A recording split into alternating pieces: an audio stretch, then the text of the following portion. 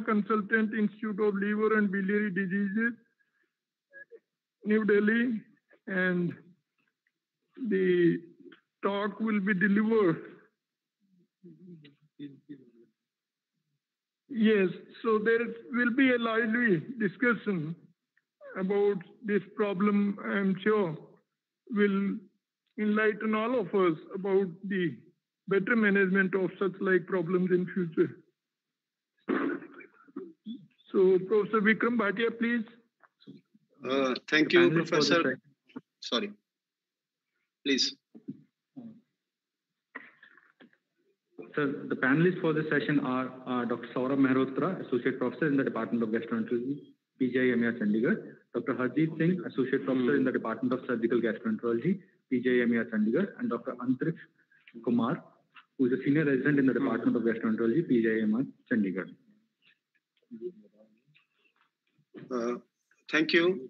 And uh, am I audible in the hall? Can I have a feedback there, please? Yes, sir, you are, sir. Yes, sir. Yeah. Yes, sir, you are. And uh, are my slides on display now? Yes, sir. Okay. Uh, thank you, Professor Kartar Singh, for the kind introduction. And uh, my thanks to Professor Usha, Usha Dutta and the Department of Gastroenterology, PGIMER, for such a uh, wonderful uh, session and a wonderful talk. So I've been given a case scenario, large duodenal ulcer with visible vessel in a 60-year-old male patient post-angioplasty. And this is a hypothetical patient, and this patient will sort of, this uh, case scenario will serve as a scaffolding for the subsequent discussion, which will be very practical. And uh, I have noted the names of my esteemed panel, and uh, I would encourage them to interrupt me in between and to interact so that this is a lively interactive sessions of benefit to everyone. So I actually begin with a question. And uh, this is the question to Dr. Antariksh, that here is a patient who has bled in the uh, cardiac ICU, and you are called to evaluate this patient. So how would you clinically evaluate and risk stratify a patient, this patient in whom you presume it is a non-variceal, possibly ulcer bleed? Can I begin with some interaction from the panelists, please? So first, uh, you, we would see whether the, what is the hemodynamic status and the cardiorespiratory status of the patient. 1st mm-hmm. we'll be doing the initial resuscitation, and by the uh, same time, we'll also do the risk stratification of the patient. For that, multiple scores have been proposed, but the best one that uh, fares above others, like the Glasgow Blatchford score, AIMS65, and the Rockall score, is the GBS score. So we will calculate the GBS score and further decide what will be the next plan of management for the patient. Uh, absolutely. Meanwhile, we will continue. Yes, yes, please. So we'll talk of the resuscitation. Meanwhile, we'll also restate the patient. We'll talk of the resuscitation. So very briefly at the bedside, you look at the hemodynamic alterations. Briefly, you look at the heart rate, whether it is more than 100 a systolic BP less than 100 or postural changes. Obviously, we presume here that the cardiovascular and medications are not playing a role in uh, these alterations. We also look at certain static factors. Patients who are aged more than 60 years, who have comorbidities, as in this case, and the ASA, this is the American Society of Anesthesiologists, physical uh, status uh, class, which is very important. We'll discuss this. So these are static factors that you cannot change. You look at the hemodynamic alterations in your patients. And as Dr. Antariksh rightfully mentioned, there are certain composite scores. So I'll try to summarize data on my slides. Uh, we like to use Rockall score, but well, Glasgow Blatchford score is also very useful. A Rockall score actually predicts the mortality. AIMS65 mortality.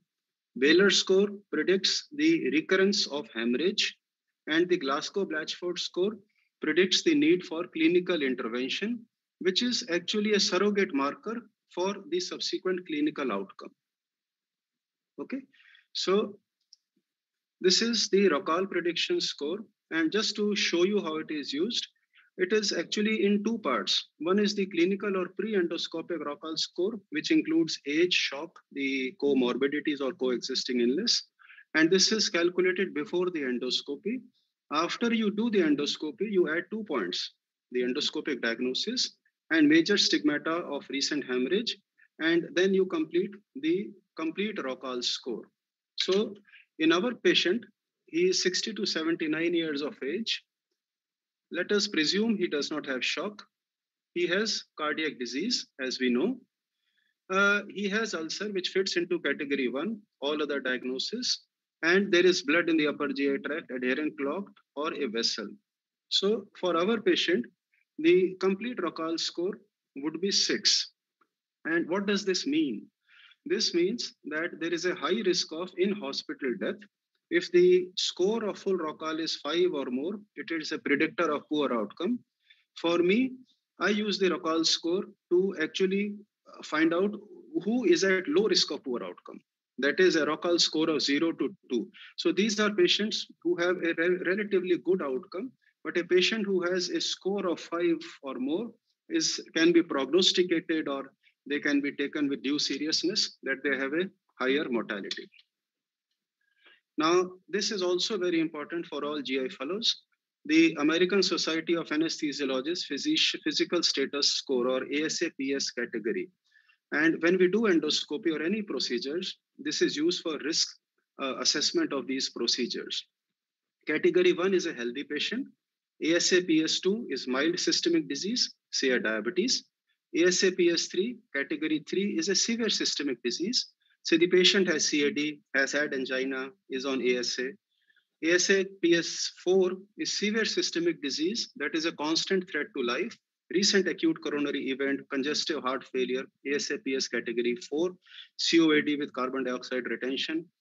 Category 5 and 6 usually don't concern her. 5 is a moribund procedure who is practically exsanguinated in, uh, in this clinical scenario and category six, uh, six is a brain death patient. So we try to stratify our patients as per the ASAPS category.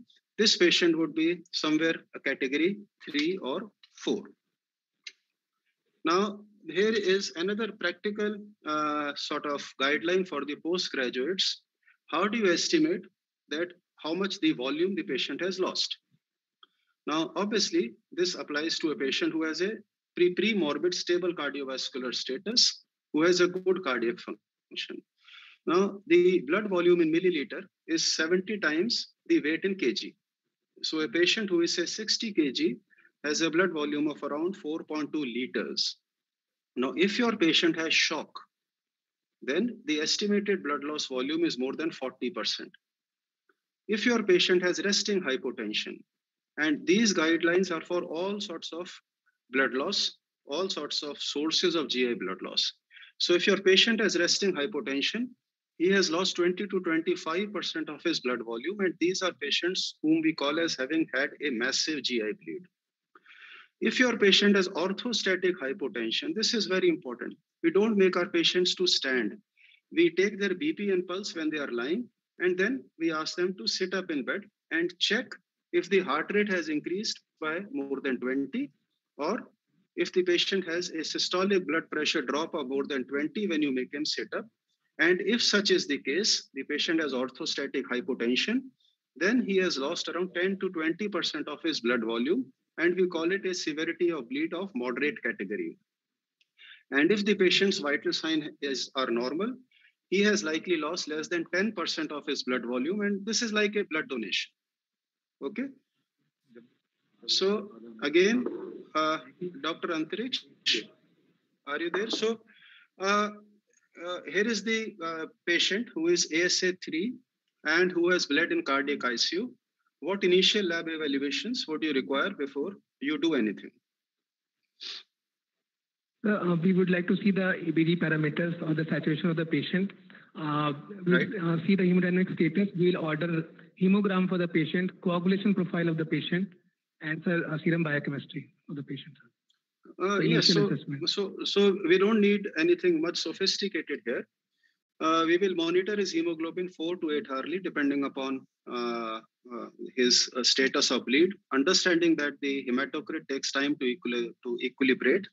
If we have a MCV and it shows a low MCV, then this patient has had a chronic blood loss with superadded acute uh, loss. We look at the coagulation profile, no doubt. We also do a urea or BUN and creatinine. And you would know that in upper GI bleed, the elevation of BUN is out of proportion to creatinine, what is called the alimentary azotemia. and a BUN by creatinine ratio of more than 36 is 90% sensitive for a UGI source of bleed. The urea will rise within a few hours, will maxi be maximum in 24 to 48 hours and become normal in three to four days if the bleeding has ceased. So this is a useful parameter to subsequently monitor and confirm where the patient has bled if he has maroon or black stools alone. We also do ECG and troponin. And you must remember that MI is often silent with UGI bleed. This is a paper in American Journal Gastroenterology 1995, a study of 36 patients who actually bled and had complicated MI. They found that only half of the patients had chest pain despite having active MI. We also do the lactate. You missed the lactate. This is very important. We do the lactate at baseline and we do six hourly till normal or till a day or two. Okay, so I'll, I'll, I'll proceed. Now, you have been made a bedside assessment and then how will you resuscitate this patient? Any of the panelists, please. What fluid will you use in this patient? What blood products will you use? Can I have some feedback, please? Or anyone from the floor? Dr. Harjeet, Dr. Antariksh, anybody? Dr. Saurabh? So what will you, what fluid will you give this patient?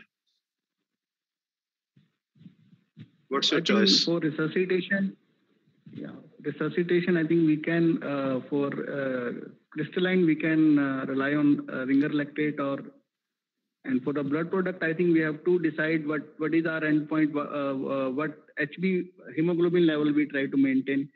So being, I think these are cardiac patient, we should, we can, uh, uh, Dr. Malhotra uh, can, uh, better person to answer this question, but what, what we usually do is otherwise the, usually the target level is seven, but maybe in cardiac patient, we can have a level of, to achieve a level of nine or 10.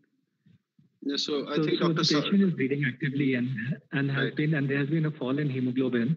We need Mhm. to give the patient blood products, and uh, Right. the target hemoglobin in patients with coronary artery disease is nine. So we have to keep the hemoglobin at nine gram per deciliter at all costs. Right, right, right. So, so you can actually will interrupt me. the registration with Mhm. Go ahead. So IV fluids we'll be giving, and so then we will see what is the initial hemoglobin of the patient.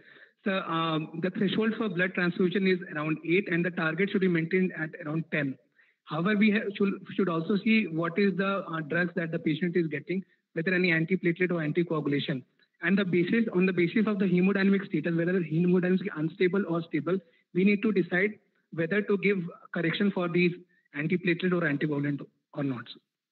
Right, right. So, so, so you'll be surprised how little data there is, uh, both in varicose as well as in non-varicose bleed. How you resuscitate the patient, what fluid to give initially. I would actually prefer a normal saline. Would not give a lactate containing fluid, but again, this is open to discussion.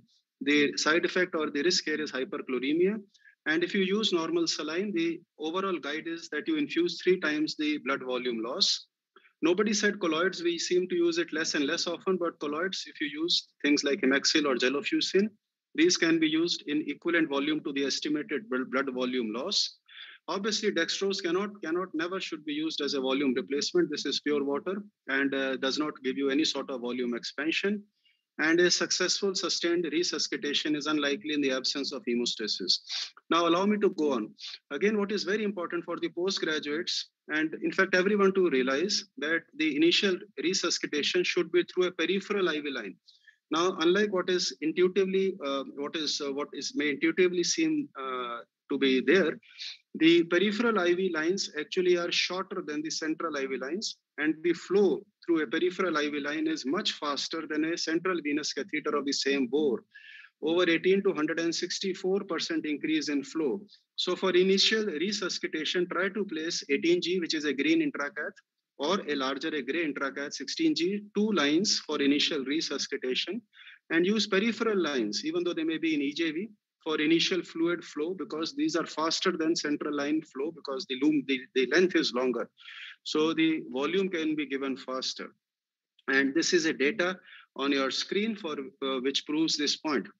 Now the colloid solutions are basically three And what we have been using is Haemaccel, which is 3.5% degraded gelatin.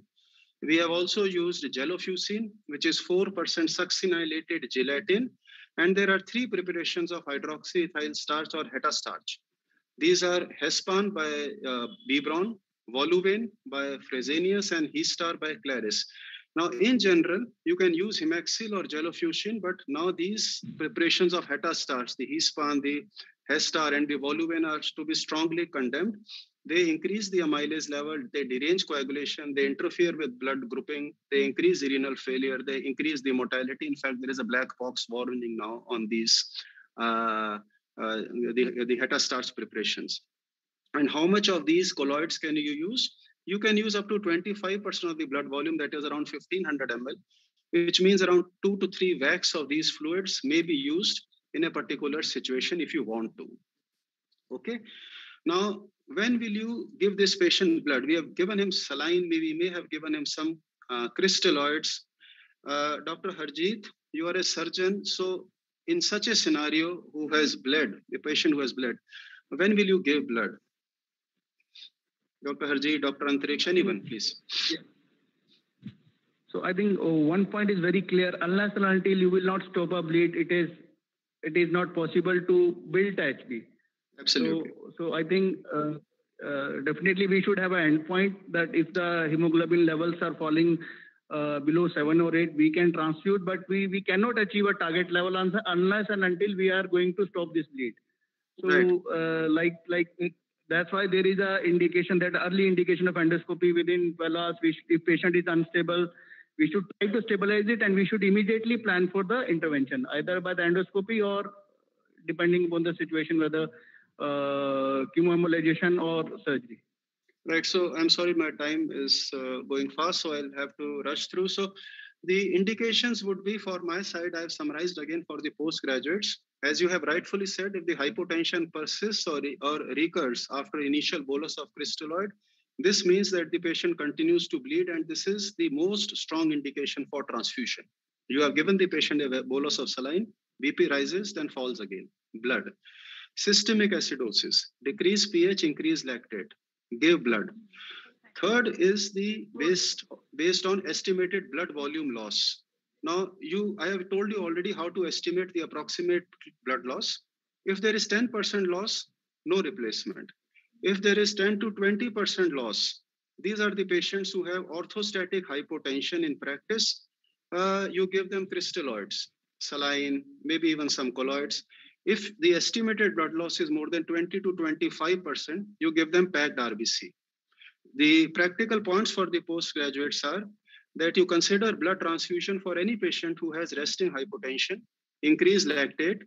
There should be a low threshold for blood transfusion, as the esteemed panelists pointed out, with cardiovascular comorbidity. Please remember, don't hang the blood very slow. Complete the transfusion within four hours of stand, starting. And only normal saline is compatible uh, with the packed RBC. Through the same line, do not give ringer lactate or any other uh, or crystalloid. Now, for the as far as the threshold of bleeding in peptic ulcer, we all talk of the the uh, conservative therapy, and this has largely been driven by this NEJM 2013 trial by Villanueva, which was a randomized trial of 921 patients. And they said that if you follow a restrictive transfusion strategy, there is a lower mortality, lower rebleeding, need for rescue treatment, and adverse events.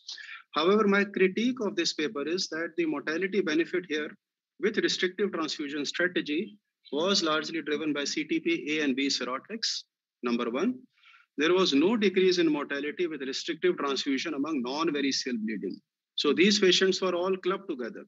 When you talk of peptic ulcer patients, there was no logic of restricting the hemoglobin target in these patients. And they excluded patients who had massive bleeding, stroke, recent acute coronary syndrome, and TIA. So my take is that for acute non-variceal bleed, well, 7 gram is okay. For acute variceal bleed, 8 gram is okay, but the data is limited. For cardiovascular comorbidity, it is, as is very common, target a hemoglobin of 9 to 10. Uh, what about preemptive PPI? We all give uh, the IV PPI, and this should be started immediately, even before endoscopy. It helps in clot stabilization.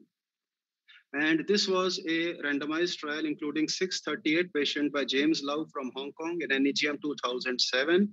And they randomized patients to a placebo or a PPI and did the endoscopy next day and found that those who received PPI were downstaged endoscopic stigmata and had a reduced need for endoscopic treatment. And now the new data suggests that you don't have to actually infuse even intermittent PPI boluses may be as good as continuous PPI infusion. So the practical tips for the postgraduates are that you give pantoprazole 80 milligram, that is two vial IV bolus, followed by 8 milligram per hour continuous infusion or IV bolus. And the duration of IV PPI in this scenario is for 72 hours, which is the point of maximum rebleed. Alternatives available in India are omeprazole and esomeprazole, but we have maximum uh, experience with Pantocid or PP uh, or pantoprazole. Now, again to uh, Dr. Antariksh and Dr. Harjeet, very briefly, two questions. Will you pass a NG tube and do a NG lavage? And will you use a prokinetic to clear the stomach? I think now there is evidence that there is no use of uh, NG lavage. Mm-hmm. And uh, definitely uh, we can add a prokinetic to clear the uh, stomach for the good endoscopy. Right. Any other view from the hall or from the floor? Anybody? Yes, sir. However, sir, if we think there is an ongoing bleed or the bleed is massive, then the mm-hmm. prokinetic might be of some help. So it may help pass the blood clots into the lower GI tract and help better visualization. Right, right. So I'll keep this the talk practical. Uh, Dr. Antariksh, you are absolutely right. The the guidelines do not recommend any routine nasogastric lavage. However, in my practice, I choose to differ. I always do nasogastric lavage, and my logic is that it evacuates blood and clots to prevent aspiration. It aids visualization, and I can have some assessment of the severity of bleeding. But you are right. Guidelines somehow say that uh, no need. The nasogastric lavage is with tap water or saline. Previously, we used to use ice uh, saline, but it is no longer recommended. It can actually cause hypothermia and impair the coagulation. IV erythromycin is equivalent to Ryle's tube lavage for endoscopic visualization and the alternative that we use in metoclopramide uh, in India. But the practical tips for the resident is that prokinetics are only useful if given 30 to 90 minutes before the endoscopy. So you don't take the patient on table and then ask the sister ki ek Perinorm laga do. It is given 30 to 90 minutes before, but erythromycin has a arrhythmia risk. It can cause QTC prolongation, torsades de pointes, ventricular arrhythmias, ventricular tachycardia. Perinorm, if you give a bolus flush, it is commonly seen that there is a bradycardia, a AV block temporarily, and the patient may have flushing. So be very careful in a cardiac patient or in a compromised patient when you use prokinetics. I was told to prepare some questions. I think this is for voting. Uh, uh, do you want this or should I uh, push across? Because there are many things.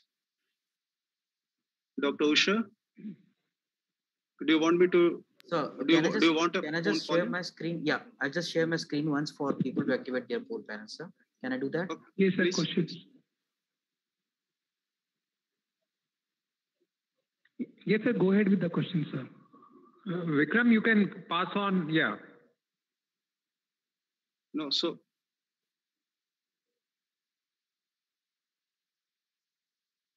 no, whose screen is on now? Sir, it's my screen. I'll request everyone to join us for the polling by using this barcode or uh, log in at slido.com and uh, our code is 5PGI. I repeat, please log in at slido.com and our code is 5PGI. Thank you.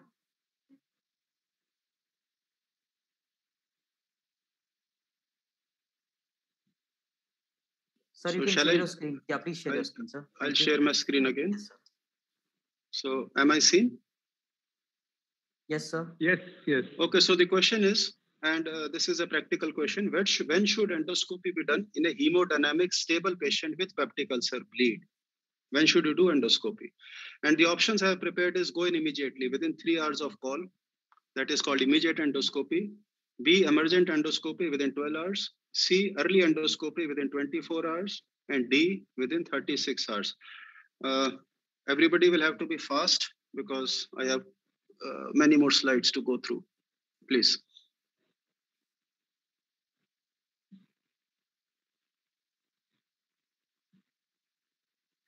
Can we stop, sir? Yep.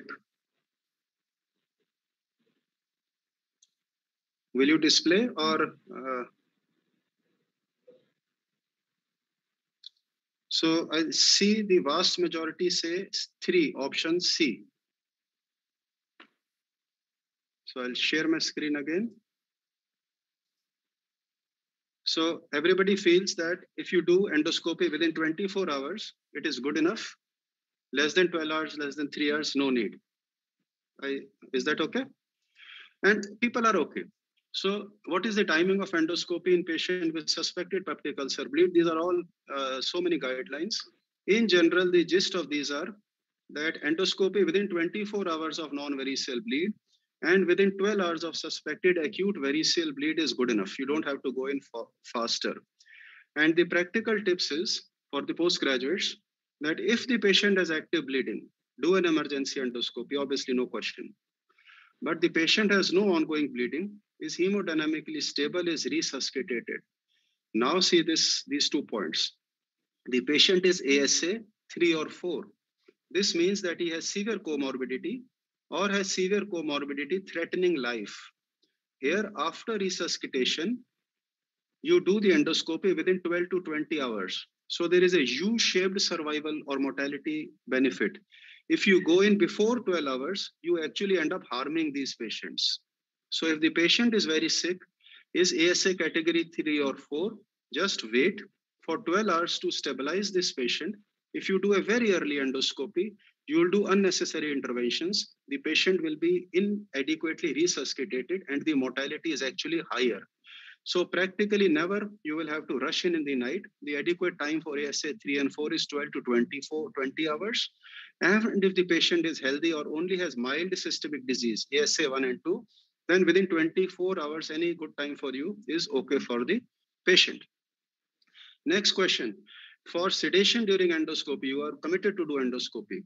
Which of the following drugs would you not prefer, not prefer in a patient who has cardiac comorbidities? Choice A, propofol. Choice B, midazolam. Choice C, etomidate. And choice D, fentanyl. Uh, you have the endoscope in hand. How are you going to sedate this the patient? Which of these will you not use? Polling, please.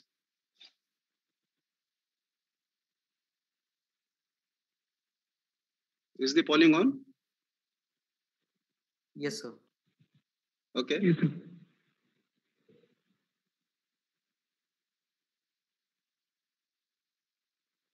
Please finish the polling first.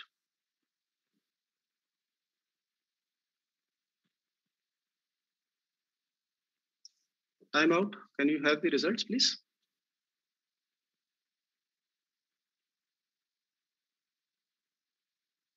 Can you show the results?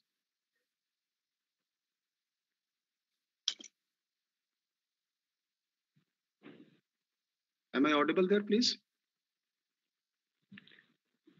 yes, Dr. Vikram, I think uh, for because there's shortage of time, you can go back to uh, the slides. I'll go, to, I'll go to the slides. Otherwise, uh, we'll. I, I, I, think I'll go back yes. to the slides. So can you stop, yeah. stop sharing and I'll go? Yep. So I'll have to be a bit fast. So the uh, sedation of choice here is etomidate and this is how you should sedate the patient. You can use fentanyl, it is safe. You can use a small dose of midazolam in these patients. So uh, will you intubate the patient for endoscopy? And I'll answer my own question. The answer is usually no. There was a study by Rudolph, GIE 2003. This was a retrospective uh, study with some selection bias, and they showed that there was no benefit of prophylactic intubation. This was a very interesting study, 200 patients, GIE 2017, which directly addressed this question. They took 200 patients with hematemesis and melena with shock, and they propensity matched the this their cohort with another group of patients which were not intubated, and they found that cardiopulmonary unplanned events were more in preemptively intubated. So this study concluded that prophylactic intubation of briskly bleeding patients may actually lead to increased risk of cardiopulmonary events that the physicians were actually hoping to avoid. So we avoid prophylactic intubation. We use mild sedation. Obviously, if the patient is unable to protect the airway, we will protect it, but no routine intubations. Now, the issue of antithrombotic medications is important. I'll actually skip the endoscopy part because the medical part is most more important for the postgraduates. So these are what the GI residents should know and what we encounter. The directly acting oral anticoagulants or DOACs can be thrombin inhibitor like dabigatran or indirect inhibitors of factor 10A, which is rivaroxaban, apixaban, edoxaban. So this is something the GI residents are not taught, and I have tried to summarize it for their benefit. In general, the GI bleeding risk of dabigatran and rivaroxaban are more than warfarin, which is more than apixaban. So apixaban has a lower GI bleeding risk than any of the available directly acting oral, oral anticoagulants. And here I've summarized for everybody how you manage anticoagulants in a patient who has any GI bleed. If the patient is on warfarin, his INR is between 2 and 3, and you stop warfarin, the INR will take 4 days to reduce. So if you have to reverse the effect of warfarin, you give vitamin K. And how do you give? You give 5 to 10 milligram as an infusion plus 4 factor PCC, the prothrombin complex concentrate, Alternative is FFP, but PCC is faster. If the patient is on a DOAC, any of the four, and the last drug has been taken 12 to 24 hours before, and the kidney function is normal, the effect has worn off. So you don't need to bother. If you want to reverse, you can use PCC, although this is not proven. Hemodialysis for dabigatran, and no role of FFP or vitamin K for rivaroxaban, apixaban, edoxaban, this category of drugs. Okay. If can, can I interrupt in between? Yes, obviously, please. Yeah, as far as as far as the direct acting anticoagulants are concerned, mm-hmm. so it is important to know when was the last direct acting oral anticoagulant taken, and if it was taken yes. four hours before the bleed, then one can give activated charcoal irrespective of the type of NOAC that has been used. Right, right. Uh, as far as uh, the antidotes are concerned, uh, the residents should know that for dabigatran, we have idarucizumab, Idar, which can be given at a dose of five, which can be given at a dose of five grams intravenously, and for rivaroxaban and apixaban, you have adelexolate alpha. So they can be yes. used as antidotes for NOAC. So absolutely and, right. So and the baseline renal and baseline renal function is also important in deciding the duration for which the effect of NOACs would stay. Yes, so we have specific antidote for dabigatran and for rivaroxaban and apixaban it is about to come, but these are often not available.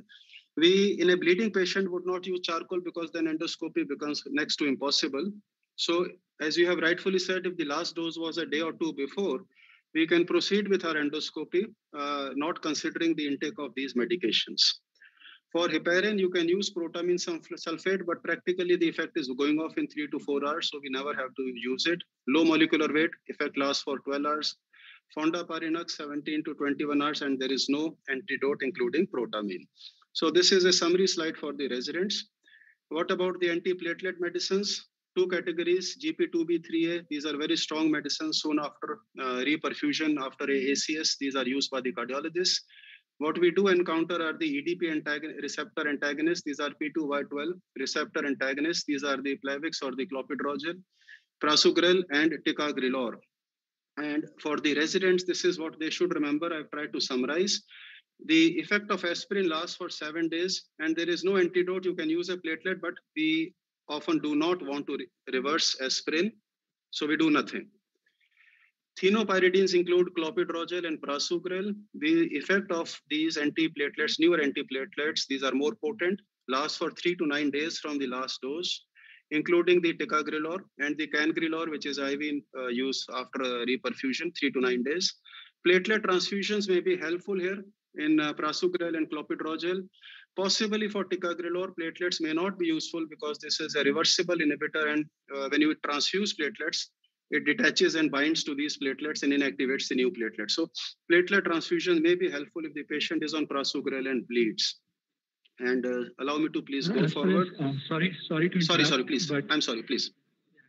as far as uh, now, if a patient has been recently stented and has been on antiplatelets and starts bleeding, mm-hmm. and if the bleeding is moderate to severe, as right. by the normal definition, the general protocol is that aspirin is stopped immediately because mm-hmm. we do not know as to when bleeding with stop. And mm-hmm. aspirin, out of all these drugs in the recent trials, has been found to be most ulcerogenic.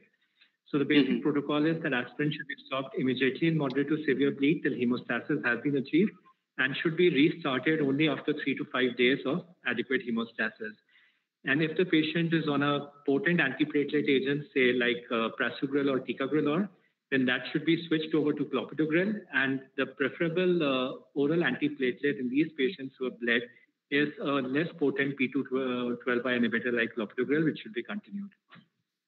So again, the GI literature actually, and, and that is why I wanted to break this up. There is some discrepancy in the literature, the cardiology and this thing. I've tried to incorporate both at the end of the talk. So allow me to go through and then please bring this up at the last. Uh, I'll rush through this. This patient obviously has a visible vessel, uh, Forrest classification 2A. The postgraduates must note that this was Forrest Finlayson classification in Lancet 1974. This classification is still relevant.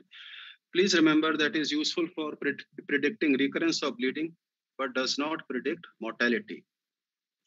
Uh, I think I shall again rush through the questions. How do the uh, the uh, the chairpersons want? Uh, how much time do I have, please? Uh, I think you persons? have to hurry up. Yeah. Uh, okay. Okay. Dr. Okay, Vikram, okay, you'll need okay. to. Yeah. Right. Right. So I'll highlight the important things for the postgraduates, not uh, go to the technical aspects of endotherapy.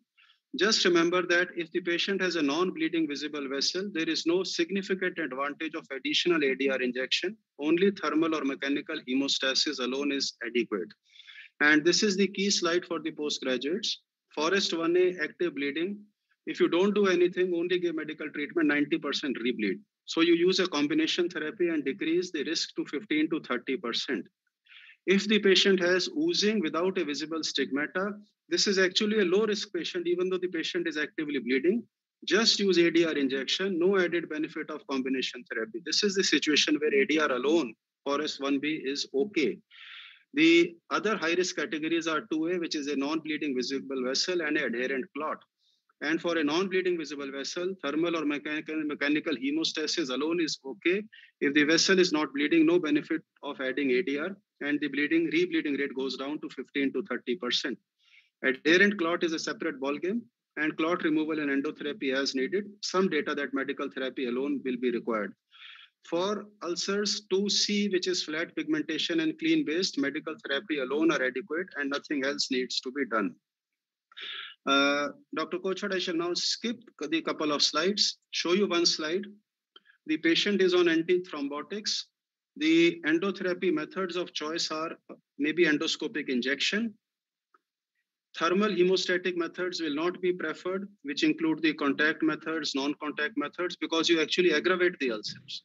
So if the patient is in a cardiac ICU, is on antiplatelets or anti, other anticoagulants, we prefer mechanical hemostatic methods like clip systems, OTSC systems, and others. And we use topical hemostatic powders. So let me rush through, skip these slides, skip these slides, just show you that in this scenario, the hemospray is a useful ad added armamentarium the protocol for application is you give the application, observe for five minutes. If the bleeding recurs, second application, watch for five minutes. After two canisters, there is a rebleeding, you call it a treatment failure. And you must relook at 72 hours because the, the hemospray will shed. And although immediate hemostasis is seen in 90% of the cases, early rebleeding will happen in over 30% of the cases. And these are very effective even if the patient has antithrombotic agents because it sort of concentrates the, the, the clotting factors on their surface. Second look endoscopy is useful.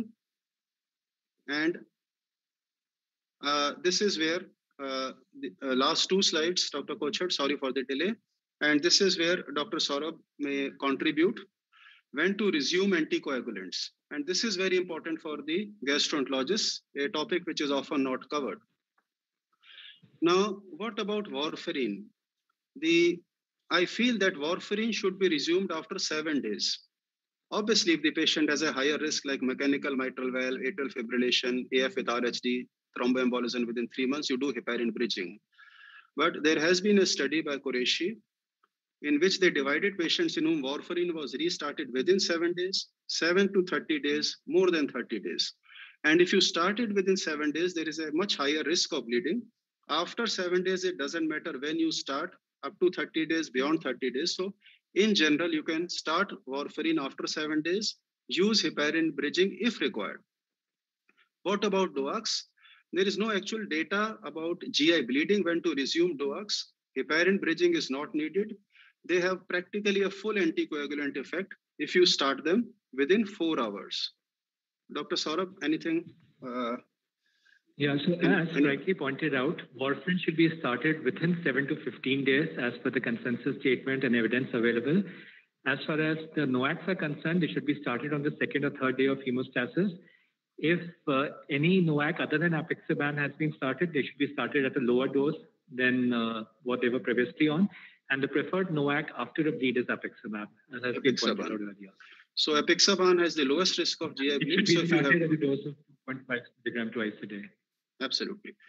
And last slide, when to resume antiplatelets. Again, a very complicated topic, and here we had some controversy.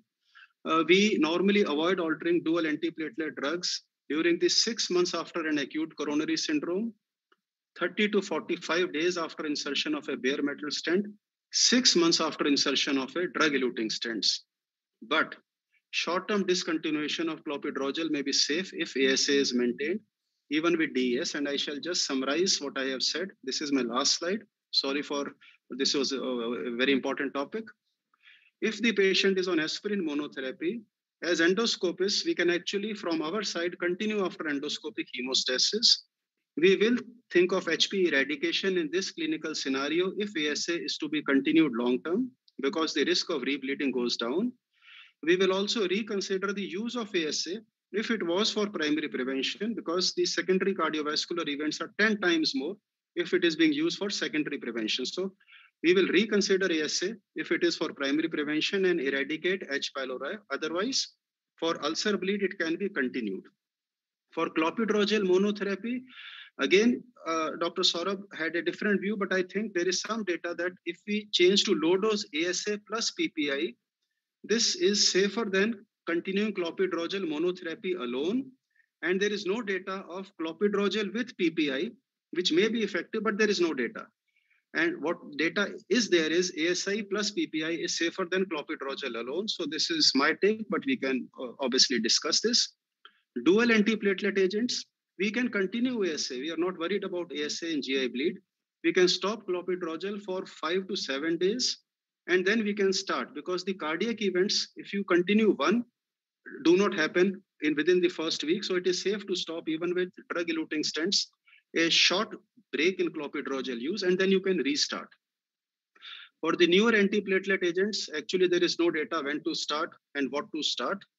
And for triple therapy, if the patient is on two antiplatelets, one anticoagulants, here the uh, here the data is different. We introduce clopidogrel and anticoagulant after endoscopic hemostasis, and here we stop aspirin and we continued clopidogrel and anticoagulant, maybe with a PPI. And uh, Dr. Saurabh can uh, uh, elaborate well, on this, well, actually, but this was my last slide. Well, actually, there's a difference in guidelines when it comes to a patient hmm. who's been recently stented and who bleeds versus a pure gastro patient who's bled. Now, uh, because the guidelines in a post-stentic patient who has bleed would primarily look at the perspective of safety from the cardiologist and the cardiovascular safety point of view. So, uh, besides the fact that when we are dealing with a patient who we anticipate is likely to bleed, the first perspective from a cardiologist's point of view is to select a stent which would require a shorter antiplatelet therapy and a less potent antiplatelet agent. And secondly, uh, from the cardiologist's point of view, one needs to optimize the stent placement in the cath lab by using imaging techniques so that once we know that the stent placement has been optimized, and just in case the patient bleeds thereafter, we know that stoppage of antiplatelet drugs is likely to cause less harm.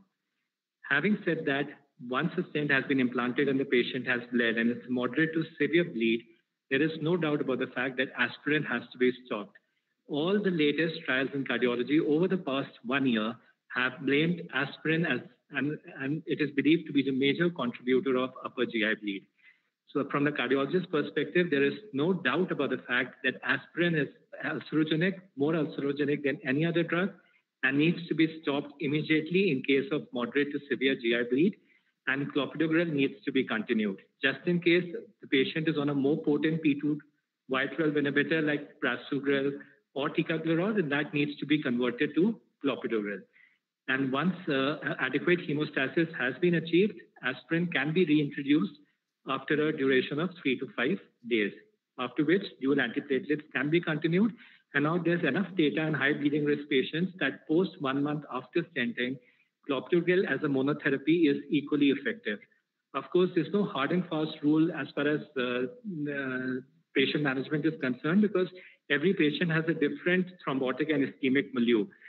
So one has to individualize treatment depending upon the bleeding milieu and the thrombotic milieu of a particular patient. But in general, aspirin is the most ulcerogenic drug in cardiology, needs to be stopped immediately when the patient bleeds. And the preferable P2Y12 inhibitor is clopidogrel, which needs to be continued. Yes, uh, thank you. Uh, you stop aspirin, what would be the risk of cardiovascular event getting precipitated? Yeah, so then there is enough data that if a patient is on a single antiplatelet agent, the risk of stent thrombosis is not much for the next 120 days, 122 days. On the other hand, when you stop dual, both the antiplatelets, the risk of stent thrombosis is still less in the first one week. Now comes the efficacy between aspirin and clopidogrel as to which one would, one needs to stop. And we have enough data that aspirin is ulcerogenic while clopidogrel is not. And now there is uh, enough evidence to show that clopidogrel is equally effective as an anti-ischemic drug and it's less ulcerogenic. And that is why in high bleeding risk patients, there are recent trials which have come up which have shown that a short duration of dual antiplatelets, so one month is recommended. Thereafter, switching over to clopidogrel monotherapy in high bleeding risk patients tends to reduce the bleeding risk without compromising on ischemia. All right. Thank you. Uh, we, we have run out of time. This was such an interesting topic that uh, we could have had a much longer discussion. If there are any questions from the house, we could take up, or uh, I don't see any questions in the chat box. Well, thank you, Dr. Vikram, for a very interesting talk and something which concerns all of us. Uh, there are a few questions, comments on the chat box. Crystalloids are not inferior to colloids. That was one. Uh, uh, please input the same. No, that that that is it. That was taken care of right in the beginning. Any other uh, thing in the chat box? I don't see. Well, any last minute comments, Vikram? Uh, no, actually, it is very nice that we we discuss with the cardiologist because GI literature always purports that ASA, particularly in post polypectomy scenario, the data is actually extrapolated from post polypectomy, that ASA may be the safer alternative. But cardiologists have a different perspective, and there is some difference in the GI and cardiology literature. And it is always wise to have interdepartmental discussion on these issues. Because we may think one thing the cardiologist may advise another thing and this is what the gi fellows have to learn of how to negotiate for a patient.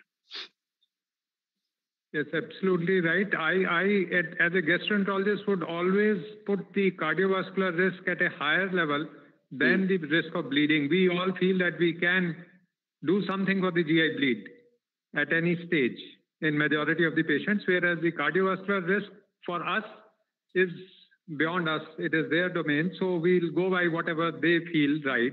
But GI right. bleed, we feel comp- competent enough with the in, uh, accessories available today that we can control most of the bleeds today. Uh, with that, I thank all the panelists for this session and uh, Vikram for a very lucid talk. Uh, maybe at a different forum or next year you need to elaborate on this. Thank you. Thank you, sir.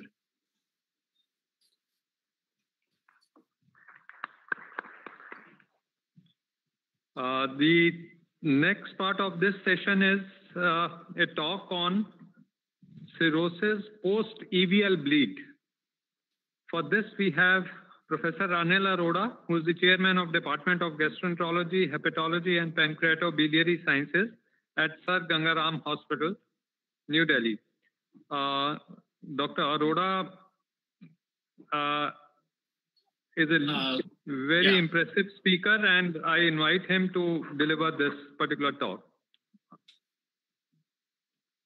Uh, thank you, Dr. Kochhar. At the outset, I'm extremely thankful to Dr. Usha and Dr. Kochhar and their own team for having organized this very lively meeting, which I think is a cornerstone for understanding the basis of managing GI emergencies, both in terms of cholangitis and uh, GI bleeding and other issues which are relevant for the budding gastroenterologist. Are my slides visible, sir? Yes, sir. Yes, okay. sure. The topic of my presentation is post ulcer, post endoscopic variceal banding ulcer bleeding. So let's start with the classical case scenario, which we are so used to seeing in on day-to-day -day basis. A 53-year-old woman with medical history of obesity, diabetes, and liver cirrhosis, typical NASH-related CLD, comes to you with history of GI bleeding. Now, this lady also had two episodes of upper GI bleeding, and the last bleeding required endoscopic variceal band ligation about two weeks back, and subsequently, as is the convention, she was put on beta blockers for the prophylaxis. Presently, she came to the casualty with massive hematemesis and melena. She was hypotensive, she had shock, and as is the need, she was started on the resuscitative measures, which included blood transfusion, need for mechanical support, and vasopressors. As the bleeding had continued, and she didn't give us enough time for stabilization, so this was one of the occasions in which, irrespective of the time of day or night, you have to rush in for emergency procedures. So she was taken up for an emergency endoscopy in the ICU itself, where a bleeding ulcer, post-EVL ulcer was seen, which was subsequently managed with hemoclipping and the spray of hemospray, which was recently presented by Dr. Uh, uh, Vikram Bhatia. Now, gastroesophageal varices are the most common complications of the cirrhosis. 40% of the patient with child A and 85% of those with child C are likely to have bleeding in spite of the advances in the management of the GI bleeding, I am sorry to tell you that every fifth patient with massive GI bleeding because of the portal hypertensive problems is likely to die. In active esophageal variceal bleeding, all of us know the treatment of choice, given the stable hemodynamic, is the mechanical control of the bleeding with the use of device called endoscopic variceal, variceal band ligation coupled with continuing uh, medical therapy for reduction of the portal pressure. There are two reasons why the ulcers bleed. One reason is that you have a blood flux in the left gastric vein that originally drained into the portal vein. And because of the portal hypertension, you have a continuing flow of the blood back into the left gastric vein, which is leading to persistent increase in the volume and the blood flow to the left gastric vein, which is forming the esophageal varices. Similarly, if you have a bleeding from the gastric varices, you have a persistent flow in the retrograde manner from the short gastric vein onto the fundal varices, leading to the perpetuation of the bleeding. What do we do when we do endoscopic variceal band ligation? All of us as gastroenterologists are so used to seeing large esophageal varices. What do we do? By banding them, that we are only obscuring what is visible to the naked eye but you are doing nothing to reduce the blood flow which is coming into it or the blood pressure which is pumping the blood into it. The procedure basically aims to obliterate the perforating veins that connect the submucosal varices to the extraesophageal collateral, which are the feeding vessels. So, how do post-EVL ulcers form? Typically, what happens is on the day after EVL, thrombi clot begins to develop in the strangulated vessels. And three to seven days after the banding, because of the shrinkage of the size of the varix because of the thrombosis, the rubber band slips off and the ulcerations develop. By default, most of them who are destined to have post-EVL ulcers are likely to have within two to three weeks. In fact, to have post-EVL ulcers beyond 19 days is very uncommon. And hence, typically, as has been the classical teaching, after initial endoscopic variceal blind banding, you have to observe the patient for another three weeks. Overall, 2 to 10% of the patients will develop post-EVL ulcers, which present to you clinically. Majority of these will occur within two weeks of endoscopic variceal ligation. And the reasons are the early slippage of the band before the occlusion of the varix, the mature thrombus, can result in formation of the clot. That means you have banded the varix, and because of the different reasons, because of the uh, consumption of the abrasive diet or something which leads to displacement or dislodgement of the clip of, of the band from the varix, may lead to the uh, lack of healing of the esophageal mucosa resulting in the uh, development of post-EVL ulcers. We should also know which patients are at risk of developing post-EVL ulcers. So there may be, the reasons could be past history of variceal bleeding, size of the varices, concomitant presence of the gastric, gastric varices, number of the deployed bands. There was one study at least which showed that if you put, put in too many bands, more than six possibly, then you're more likely to have post-EVL ulcer bleeding. There is a relationship between the severity of the liver failure and the development of the ulcers, detachment of the bands early in the follow-up period, superimposed bacterial infection, significant reflux leading to the upcoming acid trying to erode the healing esophageal mucosa, and the need for banding in the emergency setting in presence of a high APRI score and a low prothrombin time index. These are the various parameters, if they are present in the background, you should be prepared to handle most of post-EVL ulcer bleeding. There has been some attempt at the classification of the type of the post-EVL ulcers which we are seeing in the world. And this was published from our own Indian uh, Indian scenario. That is a this is a publication from Dr. Jamal and Dr. Sarin's group from ILBS. And as happens in ulcer bleeding, as shown by Dr. Vikram Bhatia, you had four types of post-EVL ulcer bleed. In type 1, type A ulcer, you have a spurting vessel. In type 2, in type B, you have an ulcer which is oozing but not spurting. In type C, you have a pigmented base with an overlying clot. That means patient has bled and stopped. And in patient, this patient may have uh, stopped bleeding prior to arrival in the hospital. So this is what typically is seen. You have a spurting vessel coming from the base of the ulcer you may have a oozing which is occurring in a constant manner when you do an endoscopic examination. In this patient, the ulcer's bleeding has stopped when there is an overlying clot, and it may be nature's attempt to prevent the further ongoing bleeding by mechanical plugging of the bleeding vessel. And subsequently, you had have these frank white ulcers, which means the patient has bled from these, and then there is no active bleeding at the moment. Now, this is again another publication, same publication from Dr. Sarin's group, which has shown that of the 3854 EVL procedures which they subsequently followed up, 3.6% patients tend to develop post-endoscopic variceal bleeding ulcers. And mind you, once you have this, you have a substantial mortality. I did give you the figure of 20 to 40% mortality in patients with upper GI bleeding because of the portal hypertension. That means every third patient requiring hospitalization for post-EVL ulcer bleeding might die. And there may be a direct relationship between the severity of the liver disease and the incidence of the ulceration and bleeding. The patient with, with type A and type B ulcer, that means those who are having active oozing at admission or active spurting, are more likely to have complication related to the mortality.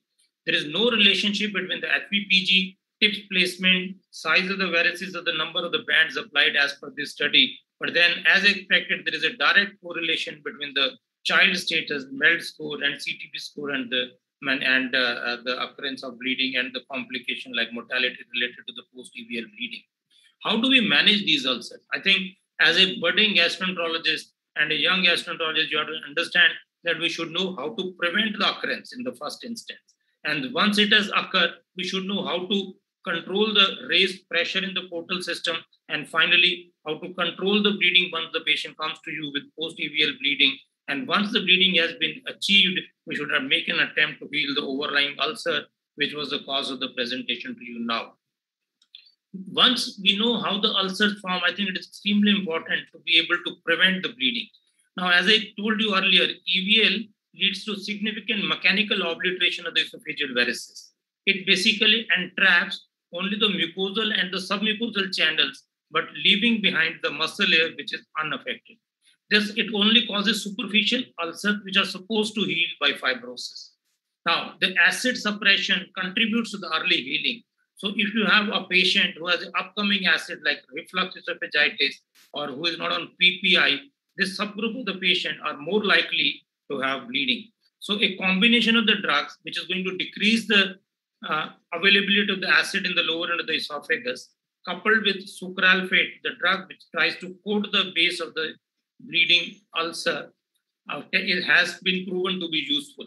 Now, how does how do PPI act? These studies have shown randomized trials of PPI in post-EVL ulcers have shown that even though they do not decrease the incidence of the bleeding after uh, EVL, but they are known to decrease the size of the bleeding ulcer. So what we are achieving with PPI is decreasing the size of the ulcer. It has been shown both the length and the width of the ulcer tend to decrease if you use a combination of PPI with vasoconstrictor. And it has also been shown that even though the bleeding may not be differently uh, uh, plausible in a scenario like this, but both the depth and the number of the ulcers, if you're combining PPI with vasoconstricting agent, do help. There is some caveat in the use of PPIs in patients with cirrhosis of the liver. It has been shown that overall 2.8% of the patient will have post-EVL ulcers bleeding. And RCTs have not shown that those who bleed and those who do not bleed have any difference whether they were on PPI or not. Moreover, the other caveats of utility of PPI in patients with cirrhosis of the liver include that most of the patient with cirrhosis because of the underlying hypertensive gastropathy have less acid production in the stomach and there is also uh, altered metabolism of the PPIs in patients with cirrhosis of the liver. So in case you tend to use PPIs, do use them at lower doses and preferably use drugs which do not have much of the hepatic metabolism like rabeprazole. Is there any, any efficacy of the proton pump inhibitors in patients with cirrhosis who have post-EVL ulcer bleeding? In fact, it has been shown, not specifically for post-EVL ulcer, but after the banding, that if you continue to use PPI for a period of at least a month or more, then you're more likely to have uh, uh, uh, less bleeding occurring from uh, post-EVL state.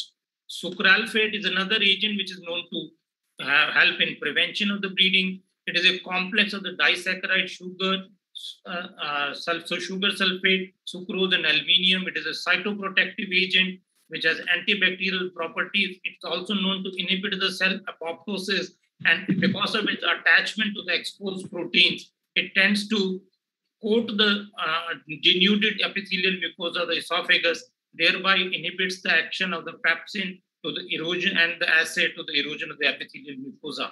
In fact, there have been, it is a safe drug with minimal side effects.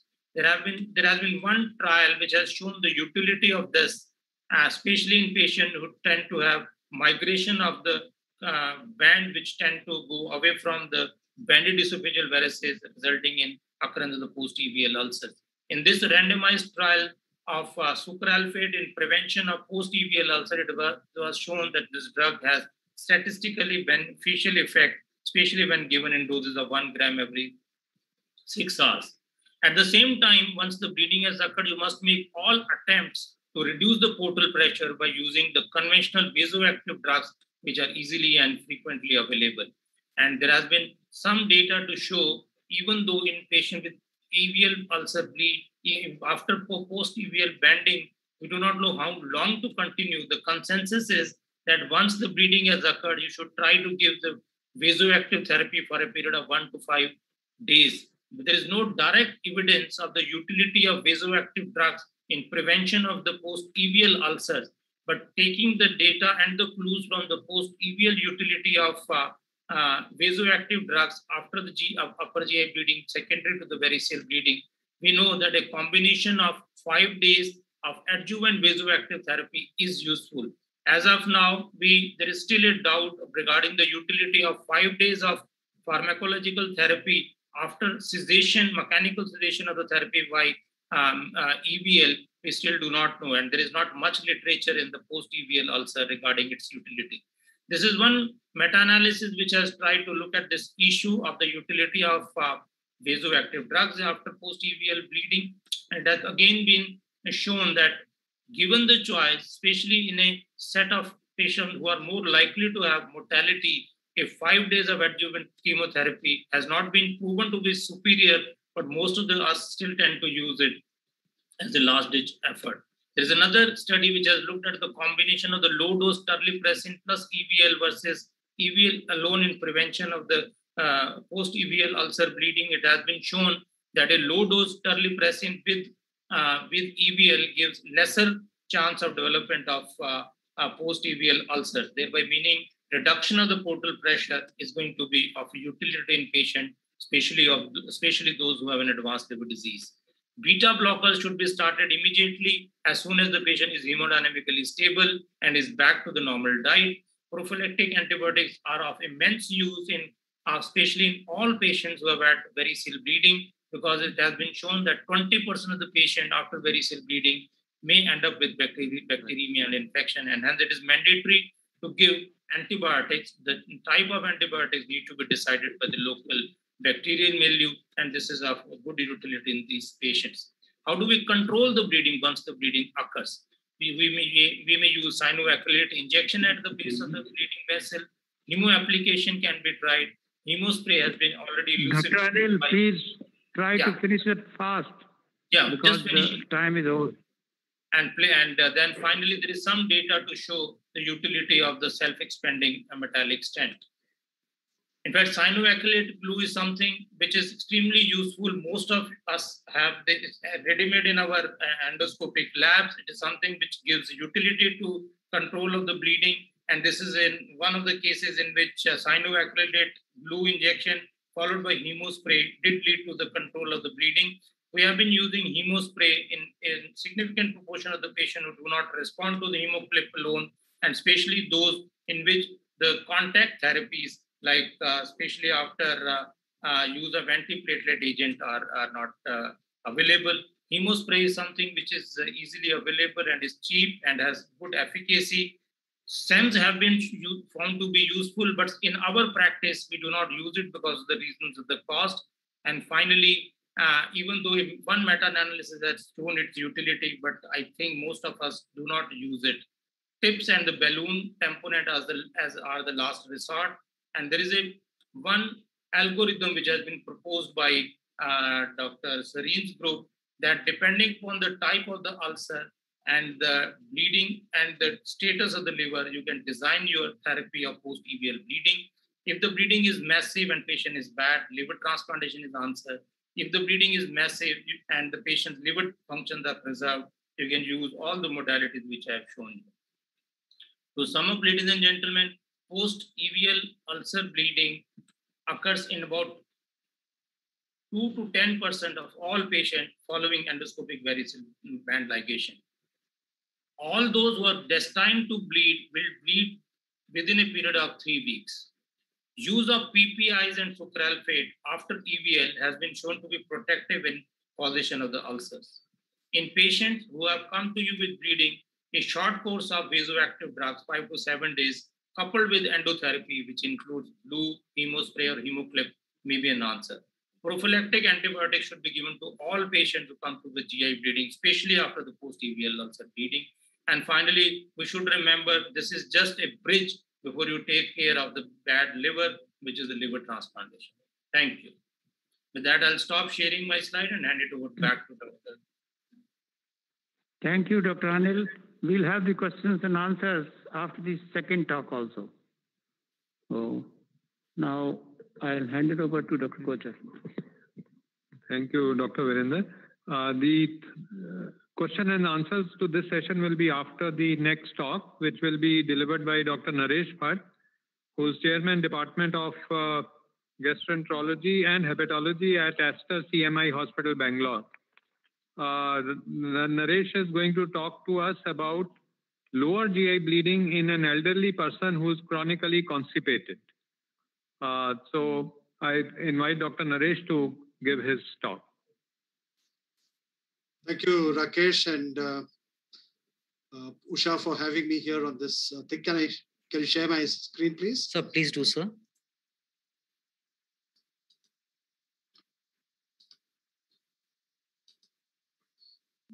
We can see your screen, sir. Nice to see uh, Professor Kartar Singh there on the dais as well. I have uh, tweaked the title a little to make it an elderly man with hematochezia. And I'm going to make it as practical as possible. My slides don't seem to be moving.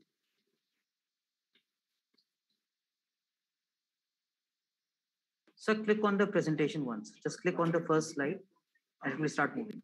Okay, thank you. Uh, we remember that if you have 100 patients who present with hematochezia, about 20% of them may have a source proximal to the IC valve. That means they are not truly lower GI bleeds. So it's imperative that we keep this uh, fact in mind when we evaluate these patients. If you look at the causes of um, lower GI bleed, they do, especially massive bleeds in elderly people, they differ from that in younger patients. And heading the list is diverticular disease of the colon.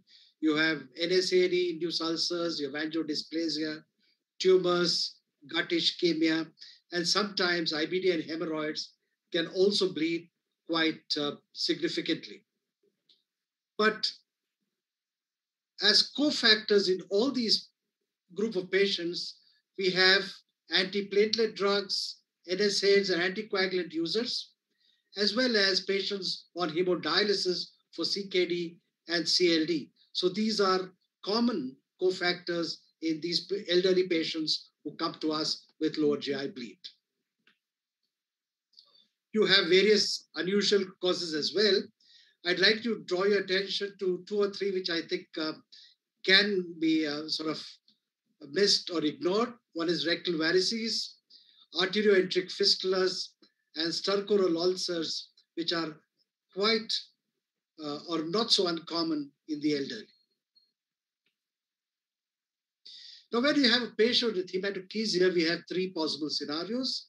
One is that he has an intermittent bleed, uh, which is modest, and he's quite stable. So what you can do is you plan a colonoscopy uh, the next day or whichever day that is comfortable due in the next few days. If you have, however, a patient who has got abdominal pain, tenderness in the abdomen, then um, your priority would be on imaging. You'd get a plain X-ray abdomen and maybe a CT scan to look for gut ischemia. And then you have the third scenario where you have these elderly patients come to you with a painless bleed, which is quite large or even massive. Here, the way to go would be to stabilize and plan early endoscopy. So I'm going to focus my attention on the third group today. And this is basically the patients with a severe lower GI bleed, which in the ER means a patient who's got an ongoing bleed, who's got syncope, who's got hemodynamic instability, who's been on antiplatelet drugs and anticoagulants, and has comorbidities. These are not very different from the risk stratification that we do in upper GI bleed. So what do we do in my unit at Aster is once we assess and we, just, we find a massive painless bleed, we quickly stabilize them and perform an upper GI endoscopy to exclude that 20% who may have a proximal cause. And if there's evidence of portal hypertension or a stigmata bleed there or a peptic ulcer bleed, we perform endotherapy. If it is negative, we put in a nasogastric tube and commence a rapid colonic prep and take them up for colonoscopy and to basically an early colonoscopy to look for uh, lesions that are amenable to endotherapy. And finally, if the colonoscopy is negative, then obviously uh, we would look at CT angio, and depending on what we find, we may even use regular angio or surgery or interventional radiology.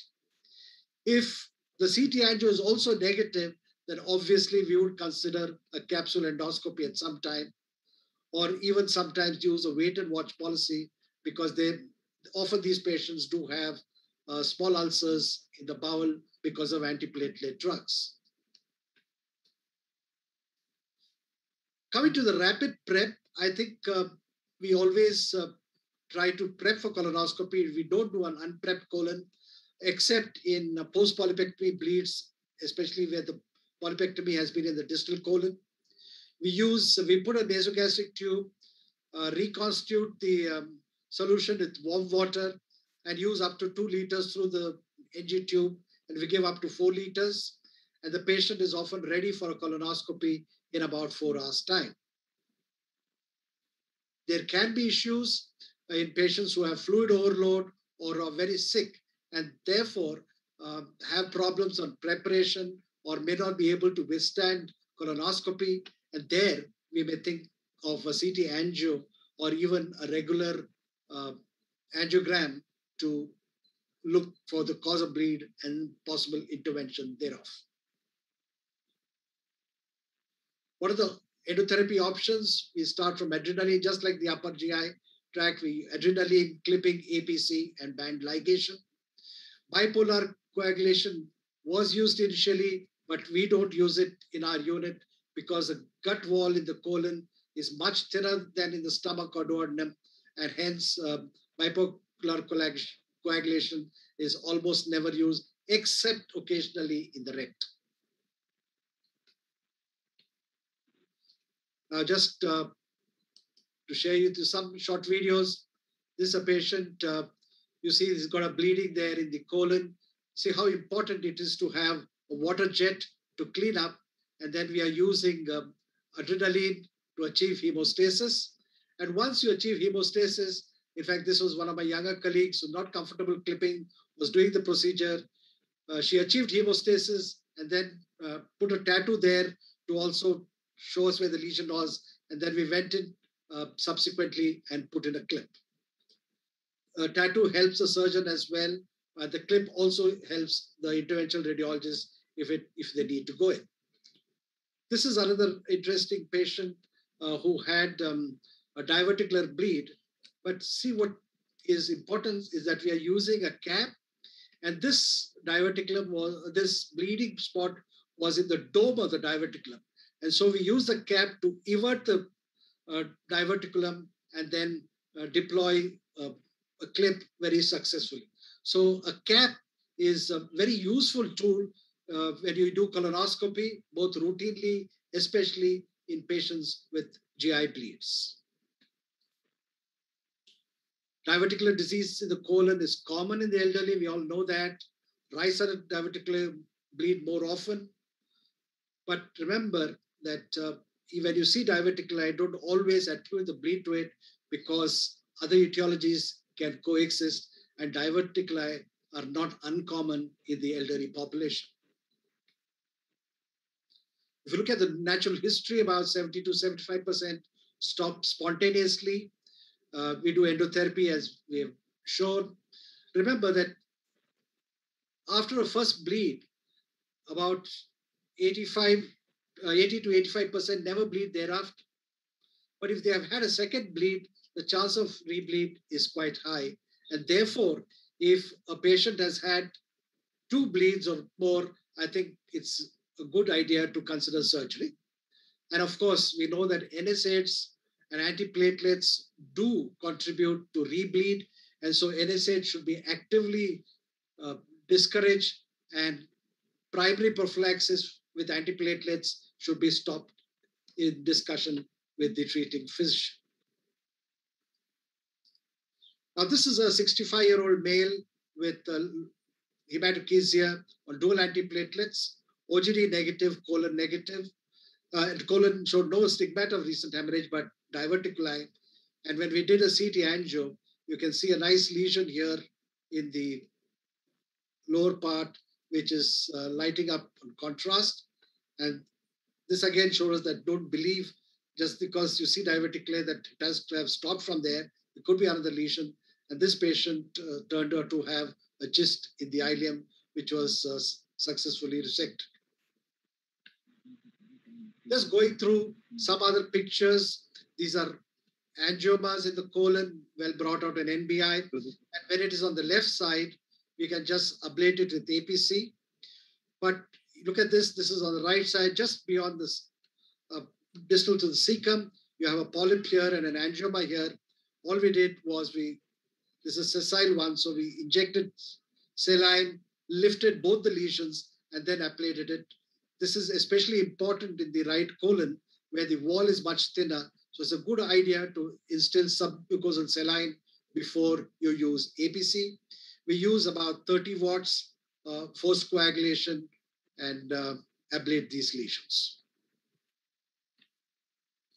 This is an interesting uh, patient. Um, is a 60-year-old lady with uh, celiac and chronic liver disease, and she was having repeated lower GI bleeds. She had had endotherapy uh, for angioma in the thing due to you know portal colopathy. She had had uh, a look at her hemorrhoid several times.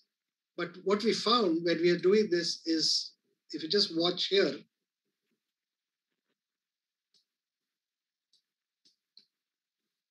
suddenly you see a, some gush of blood, and that little polypoid lesion that we were evaluating gave us a surprise because here you see here around 8 o'clock position, you can see in um, pulsatile bleeding there. And all that we did is we went in with a band and uh, deployed a band, a band and we did a band ligation and this lady never bled thereafter. This is, uh, again, um, not so uncommon scenario. You have a post-polypectomy bleed. We went in unprepped colon, and you can see the visible vessel there, which was uh, quite easily uh, dealt with with uh, clips. We sometimes resort to a conventional angiogram, and obviously you have to evaluate all the vessels. And what we find here is in the right uh, lower quadrant, you find a whole lot of uh, uh, pooling of blood. So obviously there's a bleeding source here. Uh, so we do find it useful in difficult situations, but our protocol is always do a CT angio first, uh, except in an absolute emergency, because our problems are um, a lot of contrast goes in when you use both procedures, but that's some reality. So we use only a CT angio and then proceed with something else. And when the interventional radiologist does try to um, block those vessels with some kind of embolization techniques, the risk of bowel necrosis can be real. So our protocol is not to use this very often. And in fact, this patient, we got him operated because he continued to bleed. And you see these um, ischemic ulcers uh, here in the small bowel. NSAID enteropathies or colopathies known can come with both occult or massive bleeds. This is a patient who continued to bleed here massively. Uh, we could find out the source. We did an intraoperative enteroscopy and found a, a sort of segment of about 10 to 12 centimeters with multiple ulcers bleeding actively. And so we went in and got a resection done. So finally, uh, what are the difficult situations that we see with a high mortality? Obviously, someone with massive continuing bleed, patients with portal hypertension and ectopic varices are a nightmare. Arterioenteric fistulas, again, very difficult problems to sort out. And even patients with diffuse bleeds or like severe IBD or patients with CKD can be difficult to manage, and we need aggressive surgeons to bail us out in this situation. What are the trends? Uh, there are groups that are using capsule endoscopy in the ER, including the colonic capsule, to get an idea as to where the bleeding may be occurring so that they can plan their strategy. The use of over the scope clips to manage some of these bleeds is uh, gaining ground. And to finally conclude, there is no standard protocol uh, in lower GI bleed. You have to decide wisely depending what facilities you have endoscopy, surgery, interventional radiology, capsule endoscopy. You have to decide what you have and do what you can uh, best in the circumstances. You can have a good endoscopist with experience and accessories, or you can have an inexperienced endoscopist with limited accessories in which the surgeon may have a much bigger role. And of course, you would keep in mind the patient's comorbidities and then decide what is the strategy that you would work around. I think I'll stop here. I've just finished 15 minutes and then I think I'll save you some time. Thank you, Dr. Naresh. Now we can have uh, very few questions regarding the post EVL ulcer bleed and this topic. Uh, let me start the ball rolling. Uh, see, regarding the post EVL ulcer bleed, there are a few things which are very important. One is that when you are doing EVL, do it with a very strong suction. If you use a very poor suction, you are going to apply the band very superficially, and that is going to bleed. So that is one. The second one is a practical point. Never, never try to put the band just at the bottom. See, leave some space so that tomorrow if the ulcer bleeds, then you can go below this and then you can catch hold of the varix. So these are two very important and of course, uh, the use of the Denisella and then the glue, they have their own place. So any other question? Uh, I could see on the chat box, uh, in fact, Dr. Naresh had asked that question. Any data on combination of PPI and sucralfate for post-EVL bleed? Dr. Arora, uh, are you there? Yes, yes. Yeah, yeah. Can you hear me? Yes, sure. Hello? Yeah, there, there is yes. no data on the yeah, there is no data on the combined use of PPI and sucralfate in prevention of the bleeding. But both of them, you know, if you look at the physiology of the way they work, they have a different mechanism of action. But there is no head-to-head comparison of either versus both alone. Though in practice, most of us tend to use both. Well, in a scenario in which you have a post-EVL ulcer bleeding, either prevention or management, what is important is practically saving the life with control of the bleeding. There is no comparison of one versus both, but most of us tend to use both because they have different sites and mechanism of action. Right. So we tend to use both when needed, when indicated, yes. uh, in practical terms. Uh, the last question is any role of vonoprazan in prophylaxis and treatment of uh, post EVL bleed? Uh, I, I, I, would not, uh, yes, if you have anything to say on that. What was the question? I didn't get it. Vonoprazan, that is potassium uh, channel uh, no, acid no, no. blocker. In fact, no, no, no. There, there is absolutely no. In fact, you know, there has been some utility of these agents in control of the resistant peptic ulcer.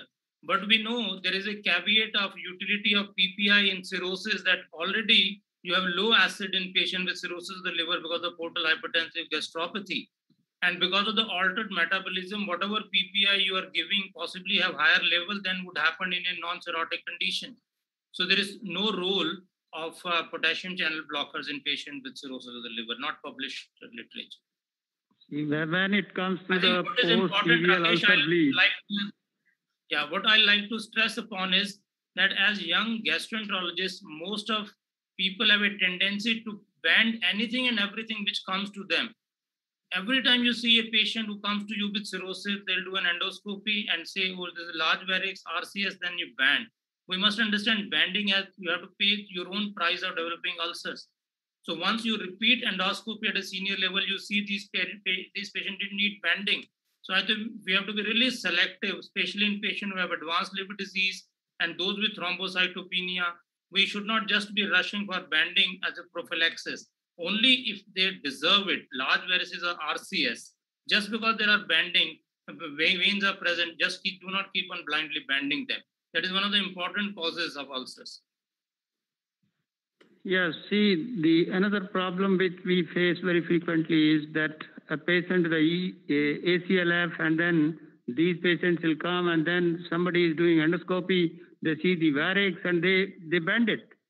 See, this should not happen because the patient is already having a very high portal pressure, and if you bend it, and these are the patients who come with a post-EVL ulcer bleed, and these are very, very difficult to control.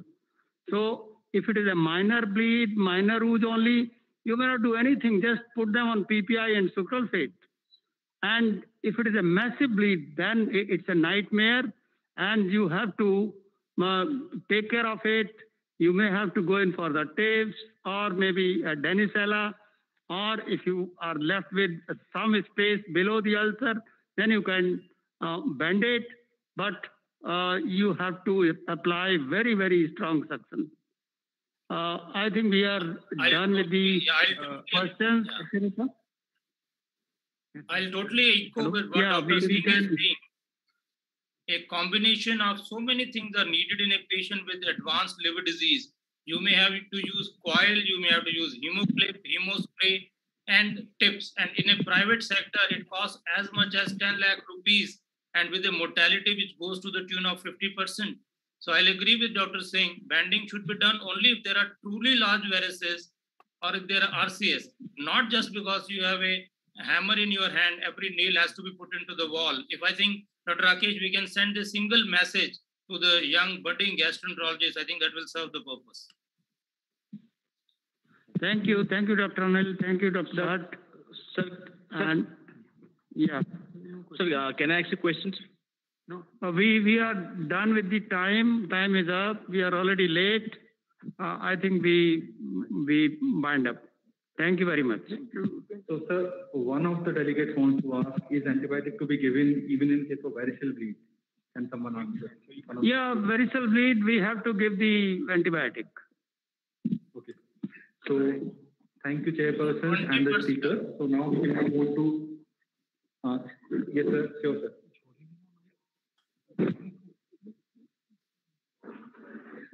So, thank you, chairperson and speakers. Now